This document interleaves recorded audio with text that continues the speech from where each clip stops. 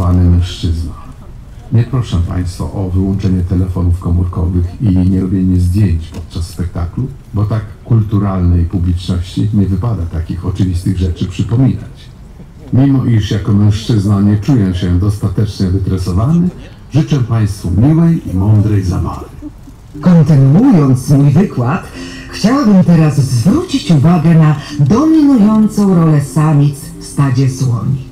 A konkretnie tej jednej, która stoi na czele słoniowej społeczności. Oczywiście dostojny pan słoń ze spokojem zajmuje zaszczytne drugie miejsce, uznając wrodzoną kulturą przewagę rozumnej i zapobiegliwej pani słoń.